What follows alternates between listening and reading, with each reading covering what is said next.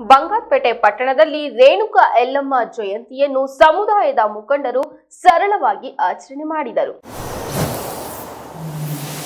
ಪಟ್ಟಣದ ಗೌತಮ್ ನಗರದಲ್ಲಿರುವ ರೇಣುಕಾ ಎಲ್ಲಮ್ಮ ದೇವಸ್ಥಾನದಲ್ಲಿ ವಿಶೇಷ ಪೂಜೆ ಏರ್ಪಡಿಸಲಾಗಿತ್ತು. ಸಮುದಾಯದ ಮುಖಂಡರಾದ ರಾಮಚಂದ್ರಪ್ಪ, ಮಾಜಿ ಶಾಸಕರಾದ ಬಿವಿ ವೆಂಕಟಮುನಿಯಪ್ಪ, ಮಾಜಿ ಜಿಲ್ಲಾ ಪಂಚಾಯತ್ ಸದಸ್ಯರಾದ ಬಿವಿ ಮಹೇಶ್ ಮತ್ತು ಬಿಜೆಪಿ ಮುಖಂಡ ಕೆ ಚಂದ್ರಾರೆಡ್ಡಿ ವಿಶೇಷ ಪೂಜೆ ಸಲ್ಲಿಸಿದರು. ಸಮುದಾಯದ ಮುಖಂಡರಾದ ರಾಮಚಂದ್ರಪ್ಪ ಮಾತನಾಡಿ, ಕರೋನಾ ಹಿನ್ನೆಲೆಯಲ್ಲಿ ರೇಣುಕಾ ಎಲ್ಲಮ್ಮ ಜಯಂತಿಯನ್ನು ಸರಳವಾಗಿ ಆಚರಣೆ ಮಾಡುತ್ತಿದ್ದೇವೆ. ಪ್ರತಿ ಬಾರಿಯೂ ರೇಣುಕಾ ಎಲ್ಲಮ್ಮ ಜಯಂತಿಯನ್ನು ವಿಜೃಂಭಣೆಯಿಂದ ಮಾಡುತ್ತಿದ್ದೆವು.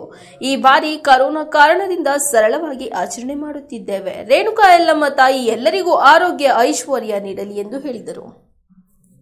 ಒಟ್ಟಿಗೆ ಸೇರಿ ಅಮ್ಮನ ಜಯಂತಿಯನ್ನ ಸರಳವಾಗಿ ಆಚರಣೆ ಮಾಡ್ತಾ ಇದ್ದೀವಿ.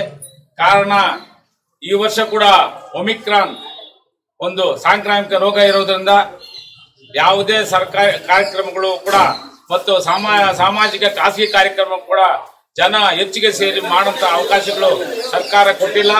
ಹಾಗಾಗಿ ಸರಳವಾಗಿ ನಾವೆಲ್ಲ ಆಚರಣೆ ಮಾಡ್ತಾ ಇದ್ದೇವೆ. ಈ ಸಂದರ್ಭದಲ್ಲಿ ನಾನು ತಾಯಿ ರೇಣುಕ ಯಲ್ಲಮ್ಮ ತಾಯಿಯಲ್ಲಿ ಪ್ರಾರ್ಥನೆ ಮಾಡ್ತೇನೆ.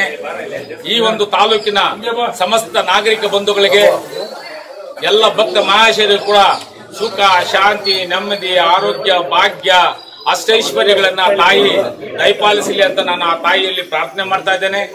ಅದರ ಜೊತೆಗೆ ಇವತ್ತು ವಿದ್ಯಾ ವಿದ್ಯಾಭ್ಯಾಸವನ್ನು ಮಾಡ್ತಕ್ಕಂಥ ಮಕ್ಕಳಿಗೆ ಒಳ್ಳೆ ವಿದ್ಯೆ ಬುದ್ಧಿಗಳನ್ನ ತಾಯಿ ಅನುಗ್ರಹಿಸಲಿ. ಈ ವರ್ಷ ಒಳ್ಳೆಯ ಮಳೆ ಬೆಳೆಗಳಾಗಿ ಸುಖ, ಶಾಂತಿಯನ್ನ ಜನಗಳಿಗೆ ದಯಪಾಲಿಸಲಿ. ಈ ಸಾಂಕ್ರಾಮಿಕ ಕೆಟ್ಟ ಕಾಯಿಲೆ ನಮ್ಮಿಂದ ದೂರವಾಗಲಿ ಅಂತೇಳಿ ಆ ತಾಯಿಯಲ್ಲಿ ಪ್ರಾರ್ಥನೆ ಮಾಡ್ತಾ ಇದ್ದೇವೆ.